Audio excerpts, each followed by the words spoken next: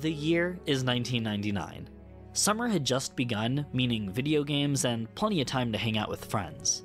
During one of these hangout sessions, you're over at your friend's house, the one who your parents rarely let you hang out with, watching TV, when suddenly a commercial comes on for a movie. A horror movie. A movie that claims that what you're seeing is real, and that the movie isn't really a movie but the found footage of three people who went missing in the middle of the woods.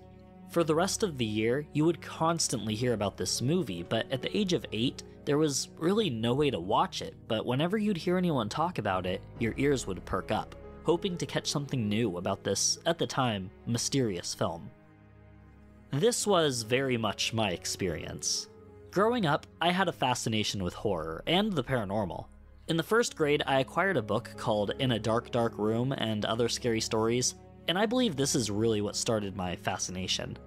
While not being particularly scary, the book featured stories that have really stuck with me, such as The Green Ribbon, a story about a man and woman who spend their lives together, all the while the woman wears a green ribbon around her neck, never telling the man why she never removes the ribbon until she's on her deathbed and she finally reveals the secret.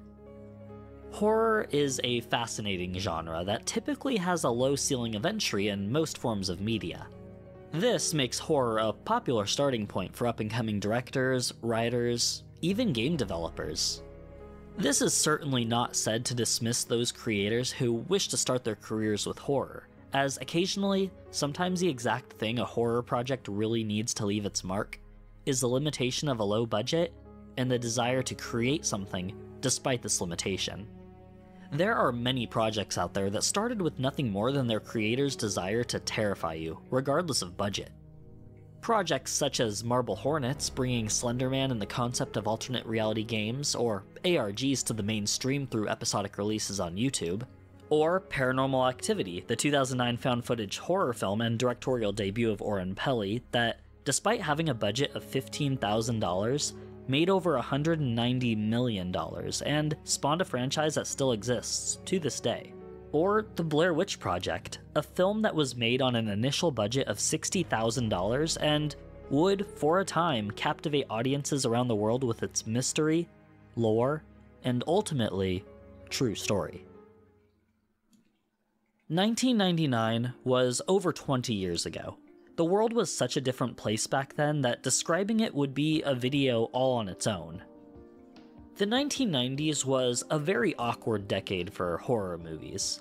While I'm often easily able to define each decade for what they brought to the horror genre, the 1990s is a bit harder to pin down. Much like previous decades, we get our occasional horror movies that get attention from those who often look down on the genre, with films like The Silence of the Lambs and Misery. But then we get movies like The Haunting and Leprechaun.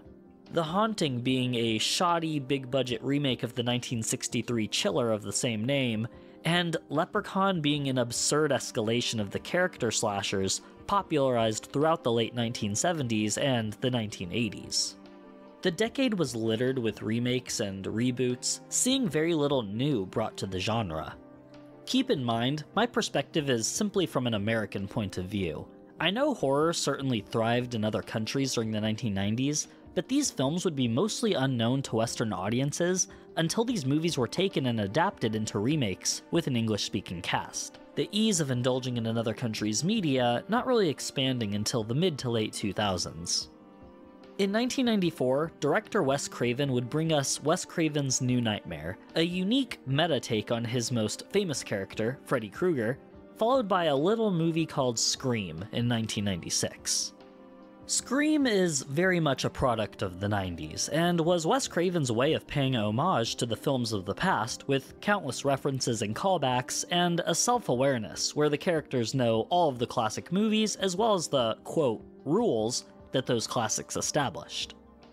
Now, despite Scream being a film that I very much do love, it didn't necessarily bring anything new to this era that seemed to be stagnant in its horror identity.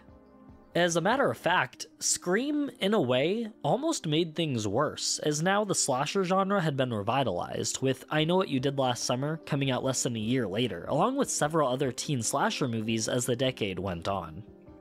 This would all change, however, when, in 1999, as the year had just passed its halfway point and the decade was coming to a close, a movie would emerge that, for better or for worse, would give the 1990s its defining horror movie.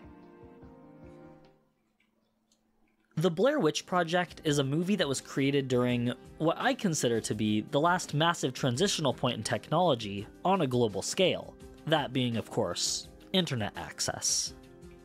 Though off to a slow start, the internet would become publicly accessible in the early 1990s, and over time, would slowly become more widespread as the decade went on.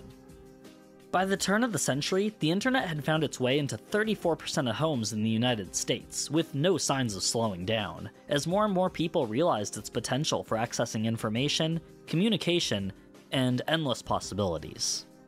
The early days of the internet were nothing like they are today. During what is often referred to as the Wild West days of the internet, spreading sourceless information was commonplace, where, despite unknown legitimacy behind claims, and the ever growing popularity of email, instant messenger, and chat rooms, rumors were able to run rampant, be it about video games, news, celebrities, or anything else that caught the public's interest.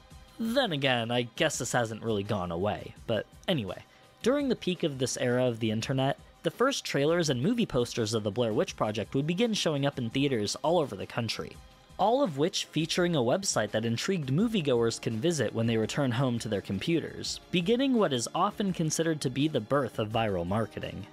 We'll get back to the website in just a minute, but first, we need to look at one event prior to the viral marketing that was paramount in getting the Blair Witch Project on the map. In January of 1999, the Blair Witch Project would be shown at the Sundance Film Festival, and as part of the advertising at Sundance leading up to the film's first showing, the marketing campaign included missing posters for the three stars of the film, informing everyone before seeing the movie that these people that you're about to watch for the next 81 minutes are now missing. What the audience is going to be watching is the footage that was found on the recovered cameras that the group had been using to film their documentary. After becoming a massive hit at Sundance and catching the attention of Artisan Entertainment, Artisan would purchase the distribution rights to the film and plan to begin marketing the film. However, the marketing had already begun, as now the many attendees of Sundance would spread word of a film that they saw that wasn't a film and was quite possibly the scariest thing they had ever seen. And what better place to discuss this film than with the rest of the world on the internet? Emerging shortly after the Sundance Film Festival, BlairWitch.com would become the ground zero of information behind what exactly this Blair Witch Project film even was. Upon visiting the site, you'd be met with four links to explore mythology, the filmmakers, the aftermath, and the legacy. And here, on this site, is where it all begins. The website tells of a legend that all starts back in 1785 in the town of Blair, Maryland. It was in this small town that a local woman by the name of Elly Kedward would be banished after being found guilty of witchcraft. As her exile occurred during a notably harsh winter, Elly Kedward was presumed dead shortly after, having been tied to a tree by the townspeople of Blair and left deep in the woods. Over a year later in 1786, all of those who accused Elly Kedward of witchcraft, along with half of the town's children, would mysteriously vanish, leading to the townspeople of Blair to flee, leaving the town abandoned. 38 years later, in 1824, the town of Burkittsville would be founded, where the town of Blair once stood. The following year, in 1825, a young girl named Eileen Treacle, while playing next to Tappy East Creek, would be pulled into the water by a pale white arm and would never be seen again. Eleven residents of Burkittsville claimed to have witnessed the event themselves, and for 13 days after, the creek would be cluttered with mysterious bundles of oily sticks, as well as be toxic to drink from. The town would remain quiet for 61 years until 1886, when, after a young girl named Robin Weaver went missing, multiple search parties are sent to look for her.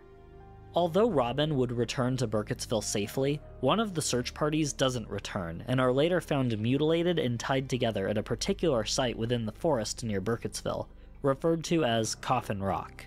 Upon alerting the local sheriff and returning to the site mere hours later, the bodies were now gone, never to be seen again. After this event, the town of Burkittsville would once again remain quiet. 54 years later, between 1940 and 1941, seven children would mysteriously go missing. Shortly after, a local hermit named Rustin Parr would be found responsible for the disappearances, having murdered the children after he claimed an old woman near his house, deep in the woods, told him to do so. Rustin Parr would be executed for his crimes, and his house would be burned to the ground on the same day. The town would yet again sit quiet until October of 1994, when three college students would arrive in Burkittsville to create a documentary about the Blair Witch as a class project.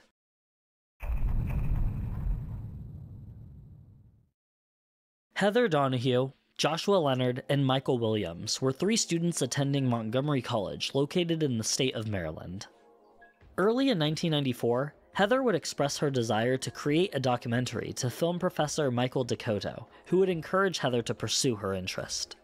Heather then decided to make her first documentary about the small, local urban legend of the Blair Witch. Heather would recruit fellow film student Joshua Leonard as the director of photography, as the two previously had worked together on projects in the past and got along well together.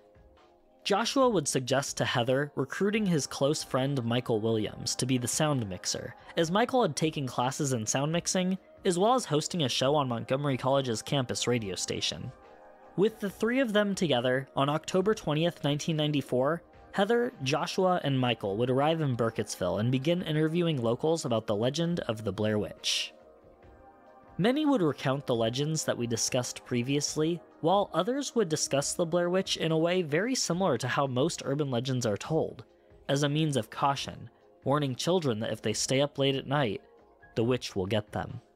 Such warnings have been associated with other urban legends such as La Llorona, and very much aligns with the older accounts of the Blair Witch and her association with missing children. Among the residents interviewed was Mary Brown, an elderly woman who lived in Burkittsville all her life, and in fact was friends with some of the children who were murdered during the 1940s Rustin Parr incident. Mary tells of her encounter that she had with the witch, claiming she saw it once and that the witch was covered in hair, though the group is unsure of her story as they perceive Mary Brown to possibly being a bit crazy.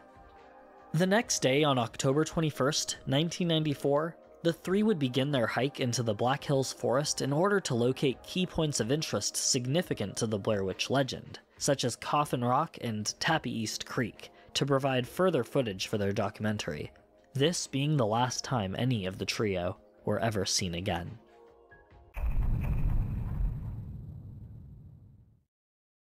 By October 25th, 1994, Heather, Joshua, and Michael had yet to return home or contact anyone.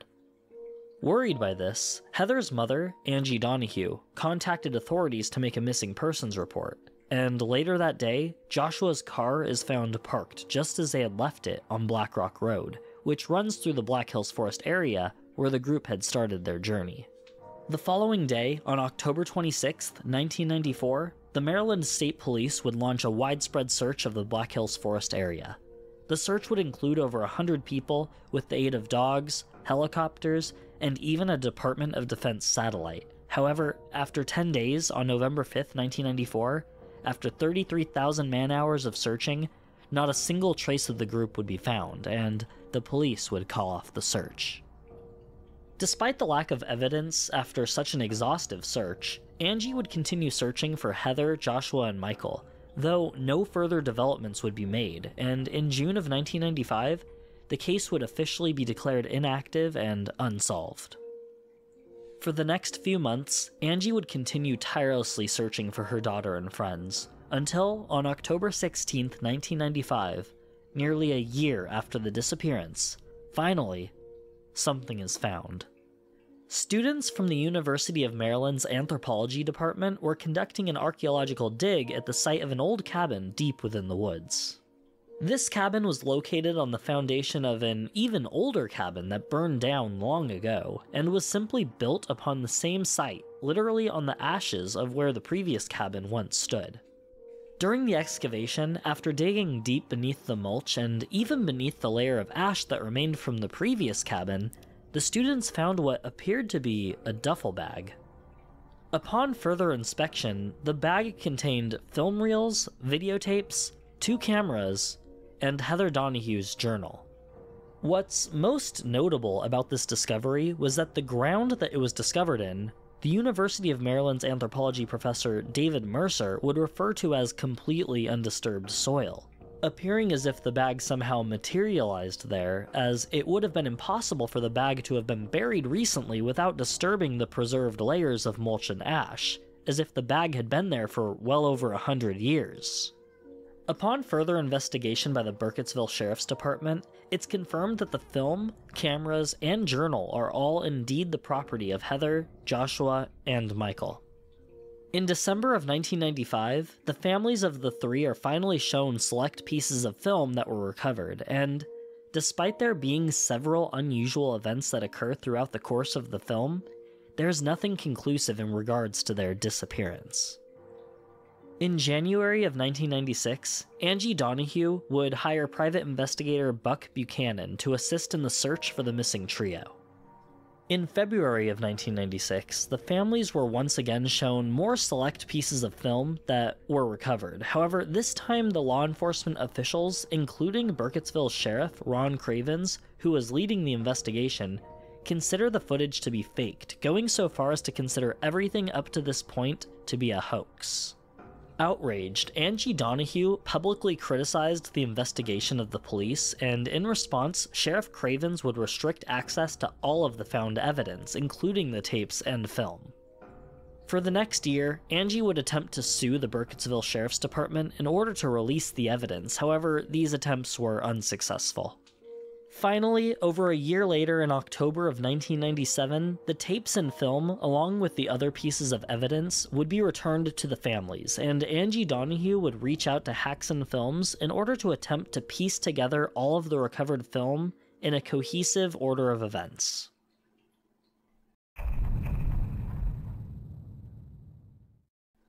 Among the evidence that was given to the families after the case was deemed unsolved were 12 16mm film reels and 10 Hi8 camcorder tapes totaling over 20 hours of total film. It was later decided that, along with piecing together the footage into chronological order, it would be beneficial to cut the film into both the documentary that Angie's daughter Heather would have wanted, as well as a film to spread awareness and potentially solve the mystery behind the disappearance of Heather, Joshua, and Michael. With Angie's approval, Haxan Films would recruit filmmakers Ed Sanchez and Dan Myrick to piece together the film into what would become known worldwide as the Blair Witch Project.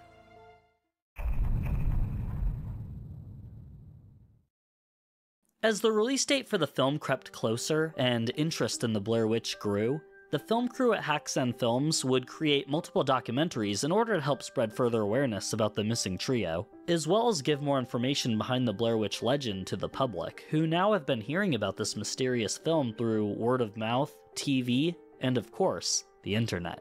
The first of these documentaries was Curse of the Blair Witch, which first aired on the Sci Fi Channel on July 11th, 1999, 19 days before the Blair Witch Project's theatrical debut, and would later receive a home video release. This documentary features interviews with various individuals, such as Heather's mother, Angie Donahue, Heather's film professor at Montgomery College, Michael Dakota, Joshua's girlfriend, Lisa Tuller, and multiple experts on folklore and history. While this documentary does discuss the disappearance of the trio, its primary focus is on the legend of the Blair Witch, the history of Burkittsville, Maryland, the former town of Blair, and the terrifying events that would occur over the course of two centuries leading up to the events of the Blair Witch Project. The next documentary is Sticks and Stones An Exploration of the Blair Witch Legend, which was released on home video via Blockbuster on October 26, 1999, shortly following the home video release of The Blair Witch Project on October 22, 1999. In its first half, this documentary tells an abridged account of the history of the Blair Witch in comparison to the previous documentary, and uses its second half to focus much more on the disappearance, as well as the efforts to find the missing trio. It also features footage of the found tapes that weren't included in the final film, specifically a scene in which Michael reassures Heather that the predicament they're in is not her fault, and, after breaking down, reassure each other that they need to keep moving and try to find their way out.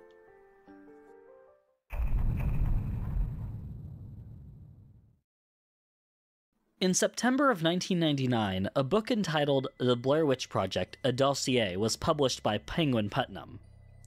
Written and compiled by Dave Stern, the book is a comprehensive collection of not only every last bit of information of the website, but the entirety of Buck Buchanan's investigative notes and transcripts, which were previously unavailable. While the book does spend a majority of its pages retelling things that were found on the website or within the documentaries, its last 56 pages or so give us a few new things. For example, it's here where we learn that Ron Cravens, the sheriff of Burkittsville and the one butting heads with Heather's mother, Angie Donahue, over his dismissive nature over the case and unwillingness to release the film footage found in 1995, knew that the house at the end of the film that Heather and Michael were in was indeed Rustin Parr's house. Sheriff Cravens stating that he simply didn't say anything as to not cause a stir in the small community, where those who were alive during Rustin Parr's murders still live to this day. The thing to note here is that Rustin Parr's house was burned down in 1941 on the same day as his execution, this knowledge leading Ron Cravens to believe that the film had to be a hoax, and that the students must have built a replica of Rustin Parr's house, as nothing else about what he saw would make any sense. Next, we're introduced to Diane Alquist, a psychic who had previously worked with law enforcement in the past and was brought on board by Angie Donahue as an act of desperation to bring about any new information to the case. Angie would send Heather's journal to Diane, who would then make notes throughout the entirety of the journal, which is scanned page by page and included within this book. And here we learn another fact about Heather that wasn't previously known to the public. That being, Heather is interested in the occult, at the very least to a novice level, and has been, by Heather's own words, sending energy to Elly Kedward, as well as feeling a kinship towards her. Throughout the journal, Heather mentions multiple times how badly she wishes to see Elly Kedward, or wishes her to make her presence known to the group, with Diane noting how dangerous it is to attempt to invoke Elly Kedward in such a manner. After receiving the journal and getting back in touch with Angie Donahue, Diane travels to Maryland to meet with Buck Buchanan, Angie, and two other investigators who had been assisting Buck throughout the investigation Stephen Whatley and Carlos Sonnenberg. Buck, Diane, Stephen, and Carlos decide to take Diane's advice and attempt a spiritual ceremony so that Diane can potentially make contact with Heather, be it physically or spiritually. On April 30th, 1996, the four prepare deep in the woods off of Black Rock Road, the same road that Heather, Michael, and Joshua departed from on that fateful day nearly two years before. Diane instructs the others of what to do in order to prepare the ritual so that all goes according to plan. As the four sit within the circle and the minutes slowly pass, Diane enters a trance like state. After 30 minutes of nothing happening, the other three begin to hear strange sounds coming from within the woods, before Diane starts speaking in what the others can only describe as a language none of them can understand. As the others begin panicking, Diane then says that she's in the house and that she's running through the house looking for Michael, as if witnessing the last moments of Heather Donahue as seen on the found footage. Still in her trance like state, the others panicking, they decide to leave, not wanting to chance getting lost as the trio did.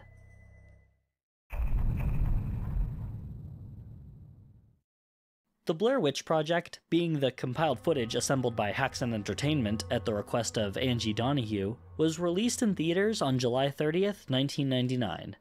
The film features Heather Donahue, Joshua Leonard, and Michael Williams as they set out to create Heather's documentary and school project of the same name. The first 15 minutes of the film consist of the trio filming around Burkittsville, Maryland, and interviewing various people in regards to the Blair Witch, most of which recount stories they've heard of the legend or their own personal experiences. The next day, after resting up at a local motel, the three go off to the woods and interview some local fishermen who recount further stories of the Blair Witch legend. The group then goes to Coffin Rock to film another scene for the documentary before heading off into the woods. After a day of hiking, the three decide to camp for the night before continuing the next day. Though, upon waking, Josh claims to have heard cackling in the woods the night prior. Eager to find an old cemetery deep in the woods, Mike and Josh continue to follow Heather, though Mike grows increasingly frustrated and unsure if Heather truly knows where she's going, despite her constant reassurance. Upon stumbling across several stacks of rocks in the middle of the woods, the group decide to set up camp for another night. While trying to sleep, the group is awoken by what sounds like something moving around just outside their camp, all around them, though nothing is seen. The next day, the group continues moving, with Josh and especially Mike clearly getting more unsure and hostile towards Heather.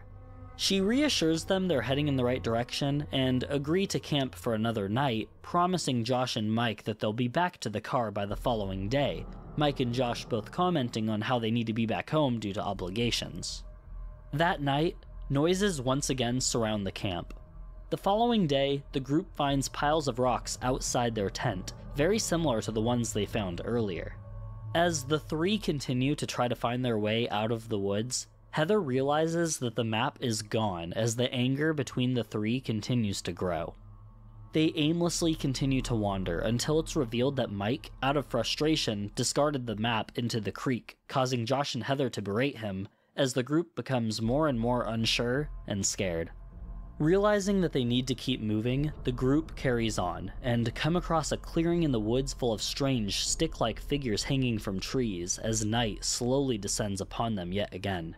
The three of them terrified of spending yet another night all of them feeling as if something out there is watching them.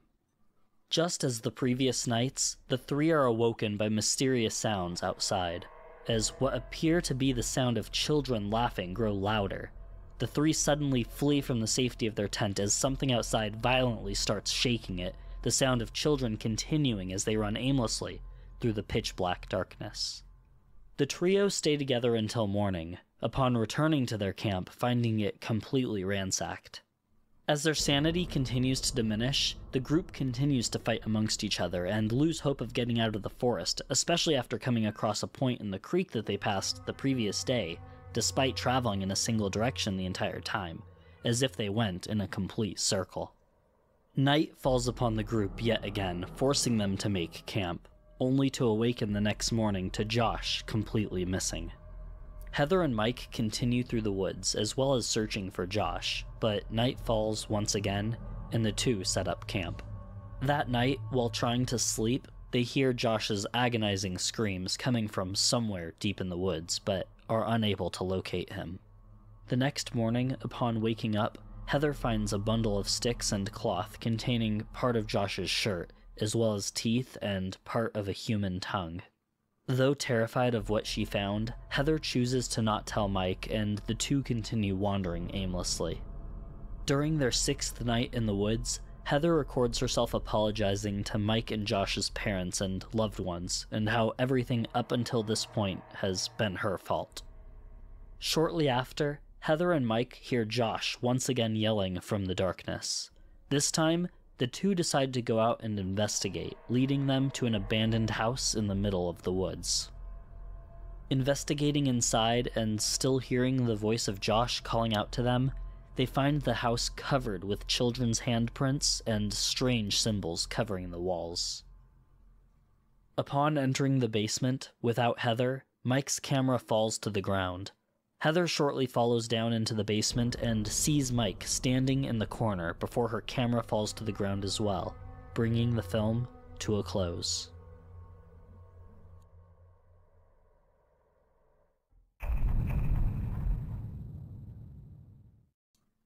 Directors Eduardo Sanchez and Daniel Myrick met as students attending the University of Central Florida in the early 1990s.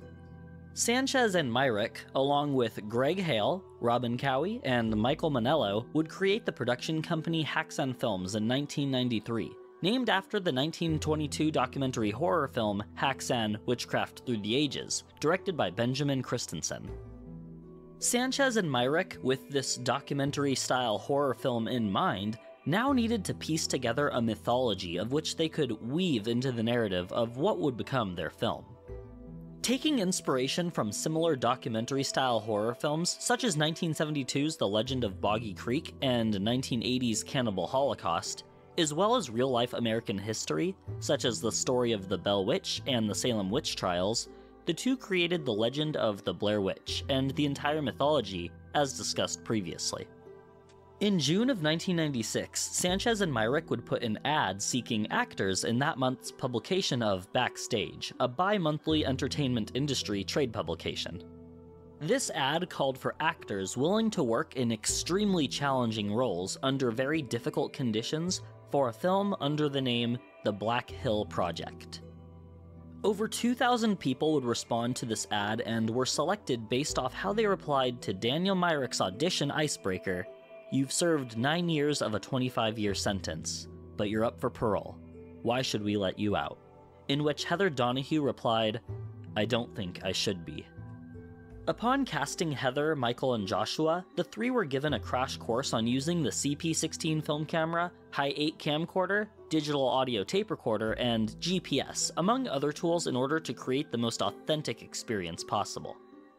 While most traditional films have the director present with the actors as each scene is filmed, the Blair Witch Project needed to be handled differently. With the movie being about three students lost in the woods with no one else around, Sanchez and Myrick felt it was absolutely necessary that the three film everything in complete isolation. If this film is to be believed, having anyone else involved would make it look too clean. The film was about three people getting lost in the woods with nothing but two cameras, an audio recorder, and some camping equipment, so that's all it's gonna be. On October 23, 1997, over the course of eight days, the crew would shoot interviews around Burkittsville and Germantown, and in the woods of Seneca Creek State Park in the state of Maryland. Throughout the segments within Burkittsville and Germantown, the trio were tasked with wandering around the towns and interviewing people about the Blair Witch to recount their own tales or stories that they may have heard growing up. While the majority of these people were actually planted by the film crew without Heather, Joshua, or Michael's knowledge, one wasn't even meant to be interviewed and without any prior knowledge of the Blair Witch, went along with Heather's story and completely crafted in my opinion, the most memorable scene of all the interviews. Reportedly, when the directors and other crew members found that this person had been interviewed, they painstakingly tracked her down as she hadn't signed a release form since she wasn't a planted actor, even going as far as to contact a local veterans group to try to find her, as her father was wearing a hat with the group's logo on it. Luckily, the woman was found, and she was eventually identified as Susan Gooch, allowing the scene to stay in the film. After the interview segment of the film was done, it was finally time for what the crew signed up for. The trio were given a GPS unit along with their gear and told one thing follow the GPS coordinates through the woods and stay in character, and from there, everything else will play out. The directors, as well as other crew, would be in the woods as well, but would maintain a distance beyond what the trio could see. From day one, the group would only know to hike to a certain point that the GPS coordinates led them to and to set up camp upon arrival. Upon reaching each point, the crew would leave a milk carton of supplies for the trio, each of the three getting food and a note for each of them containing directions of what to act out next, while also instructing them not to tell the other two of what directions are on their own papers. As the days went on, as does in the film, the trio slowly start to bicker amongst each other, which, while this was indeed instructed to them, oftentimes was completely natural, as they had actually become lost multiple times throughout the course of filming, and were starting to get really annoyed with each other. On top of this, each day the group would reach their GPS point, the food rations left for them would be less and less. As the days went on, and the nightly disturbances from deep within the woods would terrify the characters within the film, these disturbances were just as real for the trio, as while they slept, the crew would play terrifying sounds over speakers from deep in the woods, throw rocks, hit branches together, and, as shown in the film, violently shake the tent as they flee in horror. Reportedly, during this scene, as they're running from the tent, one of the crew members was standing in the woods wearing all white with white pantyhose over his head. This was supposed to be filmed, but wasn't, and honestly, the movie is infinitely better because of it. Everything that happened, such as that moment, was a surprise to the actors. Joshua disappearing was a surprise, as Heather and Michael had no idea that he left or where he even went. Walking for eight hours for a whole day only to end up in the exact spot they had started was a surprise, even coming across the house in the ending was a surprise.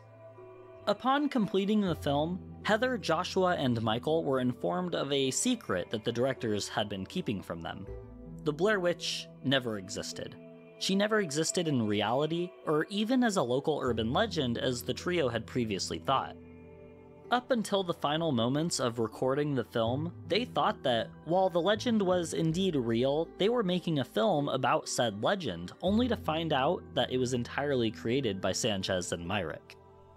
While the crew of the movie did their best to hide the fact that the Blair Witch Project was a work of fiction and that Heather, Michael, and Joshua were not lost in the woods and missing since 1996, once the film was released, within days, the three were showing up on magazine covers and daytime talk shows.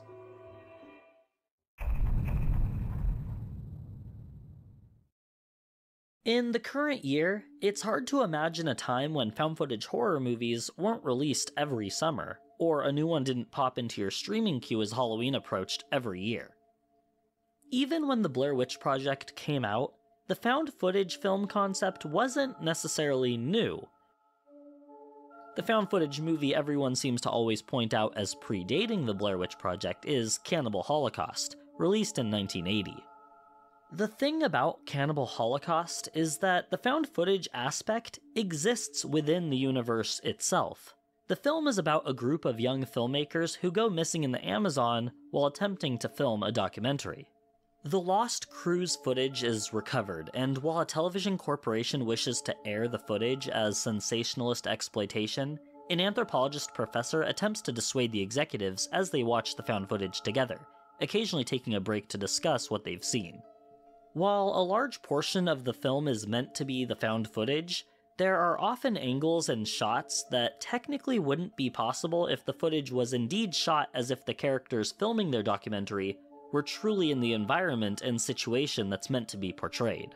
Furthermore, there are plenty of shots of the anthropologist and television executives talking that are shot much more traditionally.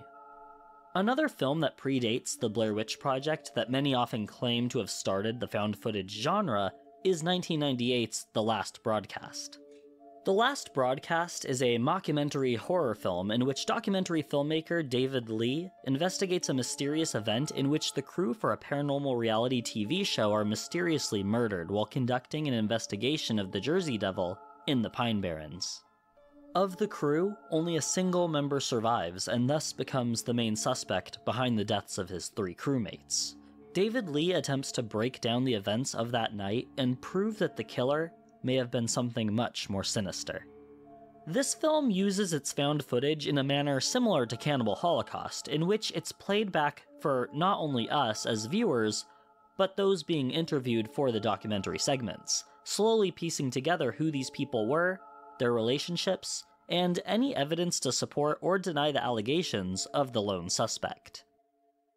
What makes the Blair Witch Project unique is that if you cut out the logos that play before any movie and show it simply as is, all you're getting is the footage that the crew shot. There are no remarks by documentarians, no text cards popping up between shots explaining anything, save for at the very beginning of the movie. What you get is simply the footage as it was found on the tape. And one movie that I was able to find that does this exact same thing was the 1989 film UFO Abduction. UFO Abduction, also commonly known as the McPherson Tape, is a found footage science fiction horror film that is as true to the term found footage as it gets, and from my research is the first of its kind, in the sense that what you're watching is a found tape with no narration or cuts to documentarians discussing the film. Much like the Blair Witch Project, UFO abduction opens with some text, and the rest of the movie is simply what was filmed on that tape.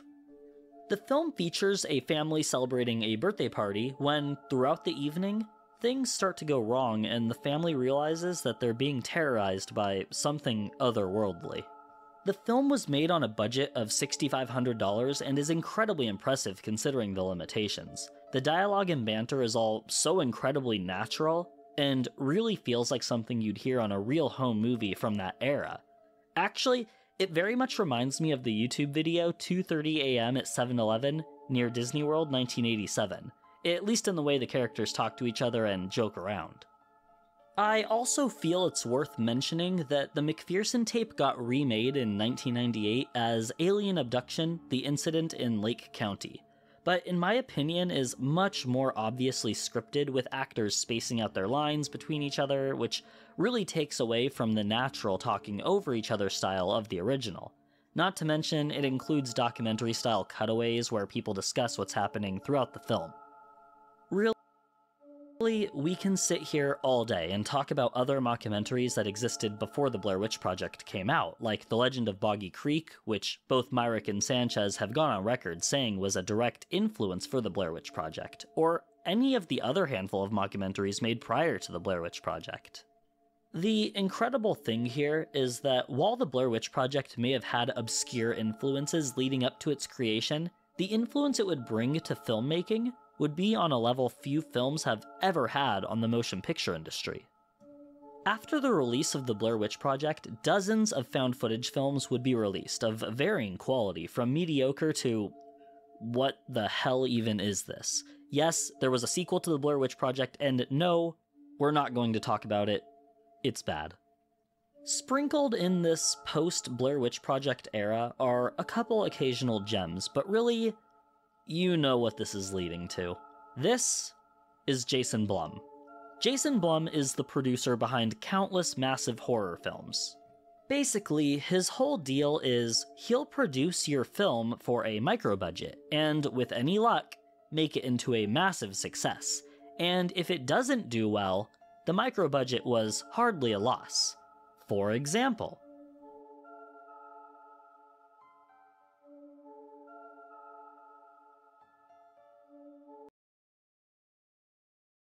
oh, um, may- maybe maybe not that one. But when you're looking at numbers like this, you need to keep in mind that $1 million budgets are not a lot for a movie, and we're not even talking about in comparison to the budgets of mega franchise films like Disney puts out. I'm talking just in regards to horror films. Horror films are often known for not being massive box office hits. As a matter of fact, there are only two horror movies in the top 150 highest grossing films of all time. And those movies are The Sixth Sense at number 147, which had a budget of 40 million and made 672 million, and It 2017 at number 136 that also had a budget of 40 million and made 701 million. My point here being that if you're looking to make a horror film, studios know that they aren't a winning ticket for making hundreds of millions. But what Jason Blum proved was that you could take a smaller budget and still turn it into a home run. Or rather, Jason Blum didn't prove this. The Blair Witch Project did. And the Blair Witch Project proved this to Jason Blum. In an interview with Nightmare Magazine, Jason Blum recounted that in 1998, while working for Miramax, he had the opportunity to pick up the Blair Witch Project and passed on it, only for it to become one of the most groundbreaking and impactful horror films of all time. The Blair Witch Project was very much the one that got away for Jason Blum, as at the time, The Blair Witch Project was the most profitable film ever made, earning $248 million off of its $60,000 budget. This would lead Jason Blum to continue searching and searching until finally a little film came along in 2007 that would be directly influenced by the Blair Witch Project. Paranormal Activity was produced, directed, and written by Oren Peli as his first film and would prove to be an absolute juggernaut in the history of horror cinema. At the time Jason Blum would pick up Paranormal Activity, the budget for the film was only $15,000. Blum knew that with a similar marketing push as The Blair Witch, with just a little bit more money added to the budget, this film could possibly be the same lightning in a bottle situation, and he was right. The final post production budget for Paranormal Activity came out to around $215,000, which is fairly close to the Blair Witch Project's final post production budget, which, while unknown, is reported to be between $200,000 and $750,000. There were a few found footage films in the years between the Blair Witch Project and Paranormal Activity, most notably Rec and the Poughkeepsie tapes, both from 2007. But it was after the release of Paranormal Activity when the true found footage boom took off. But really, the seed was already planted. It simply took technology reaching a point where mimicking the Blair Witch Project style became easy, when the world would finally hit a point where everyone would have a camera in their pocket, and anyone with an idea for a horror film can attempt to make their own movie, even within their own house. The Blair Witch Project was able to fool the world into thinking that what they were watching was real. Upon release of the film, as the cast and crew made appearances on daytime TV talk shows and the veil was lifted, many felt cheated by the lie that this entire movie was built upon. For some, it even ruined the experience of wanting to see it, as now, what they had heard about for months as this disturbing film of three people lost and terrorized in the forest was entirely fake. In a way, the Blair Witch Project was very much a proto ARG, or alternate reality game. Not so much in the fact that there was much audience participation in solving clues or cryptic puzzles, but simply the fact that through other media sources, you could delve into the mystery, be it the book, the website, or any of the documentaries that were created. The world of the Blair Witch Project is quite literally an alternate reality that had documentaries in universe air on television stations in the real world. While there exists many differing opinions on what an ARG is and how much actual involvement of the players there must be in order for the project to be classified as an ARG, the Blair Witch Project without a doubt launched the concept of creating such a world, at least in a mainstream sense. As mentioned previously, the found footage genre existed, at least in some way, before the Blair Witch Project. While I feel the McPherson tape, or UFO abduction, is for all intents and purposes the first true found footage film, the Blair Witch Project was made at a time that was perfect for capitalizing on selling such a concept. I remember going to see Paranormal Activity at an early midnight showing, and I don't recall ever hearing of the studio trying to pass off the film as being real footage of a haunting, the way the Blair Witch Project did. And that's what makes the Blair Witch Project such a unique and special film. So, what is this video even for? To be honest, I asked myself that a lot while making it. As I previously mentioned, what makes the Blair Witch Project so fascinating is simply the timing of which it was released. Just early enough that deep internet research couldn't spoil it, and just late enough that it could be marketed through the internet and allow people to fall into this narrative of three missing filmmakers. This window was truly small, maybe four years at best, between 1998 and 2002. Any earlier, and the internet wouldn't have been as widely accessible, and any later, it would most likely have been spoiled. That is what makes the movie so special. As we saw with the McPherson tape, someone had the idea to do a true found footage film in 1989, and if one person had the idea and actually went through with it, I think it's safe to say many others at least thought of the idea as well. Ultimately, the timing of the Blair Witch Project was a once in a lifetime opportunity, it caught the world at just a point where a massive transitional shift in technology was occurring and absolutely delivered. Because, in the end, what makes the Blair Witch Project so memorable was how it fooled the world, rejuvenated the horror genre, and was truly a case of the right film at the right time.